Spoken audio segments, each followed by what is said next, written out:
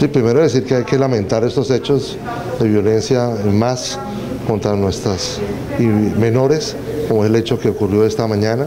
Eh, precisamente nos reunimos con el señor coronel Sánchez, comandante de Policía de Magdalena Medio, quien se ha comprometido precisamente a generar unas patrullas en los entornos escolares para poder eh, marcar de alguna forma la presencia de la autoridad en los sectores. De igual manera, a través del programa de entornos seguros vamos a generar también la ocupación y la presencia de estos gestores de convivencia que nos permitan sobre todo darle la tranquilidad a los estudiantes en estos sectores. Seguimos haciendo por supuesto el llamado también a las autoridades para que sigamos velando y garantizando por la vida de las personas en Barranca.